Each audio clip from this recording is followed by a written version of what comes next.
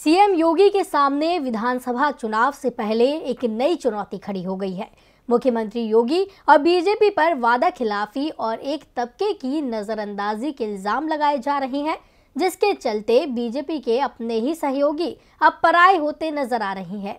साथ ही योगी को जनसंख्या नियंत्रण के मुद्दे पर घेरते हुए एक बड़ी टिप्पणी भी सामने आई है। आखिर किसने जनसंख्या नीति पर सीएम योगी के लिए कही है बड़ी बात? जानने के लिए देखिए ये खास रिपोर्ट।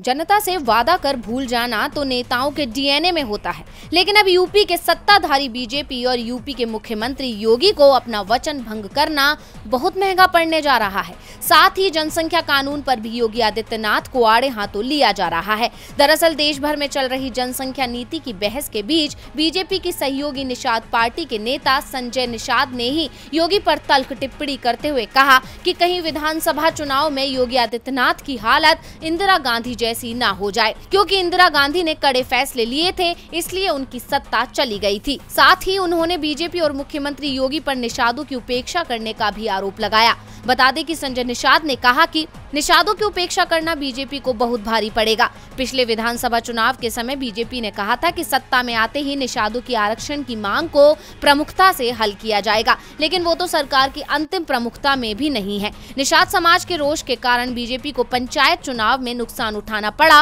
और अब बारी विधानसभा चुनाव की है। वहीं उन्होंने योगी पर भी निषादों से दगा करने के आरोप लगाए। उन्होंने कहा कि जहाँ योगी पहले निषादों को आरक्षण की बात का संसद में समर्थन करते थे, वो अब इसका ज़िक्र भी नहीं करते। बता दें कि संजय निषाद ने यूपी का त्रिस्तरीय चुनाव भी बीजेपी से अलग होकर लड़ा था, जिससे बीजेपी को खासा नुकसान उठाना पड़ा था। खैर, अब देखना दिलचस्प होगा की बीजेपी निषाद की नाराज़गी को कैसे दूर करती है। डीवी लाइव की रिपोर्ट।